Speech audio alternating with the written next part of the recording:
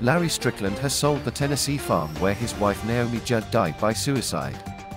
The 76-year-old singer admitted he could no longer live at the property where his beloved wife died in 2022 after a battle with mental illness so he sold up and moved to Florida.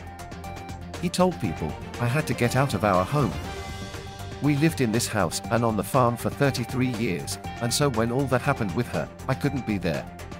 I sold the house and the farm, and even though stepdaughters, Ashley and Wynonna were still close by, I couldn't be there. Larry then moved to Florida in the spring of 2023 and said he still feels Naomi close by. He said, Naomi and I both would spend our winters in West Palm, and we would usually just do an Airbnb or stay in a hotel, but I bought a condo here. I'm living on the beach. I've always wanted to do that.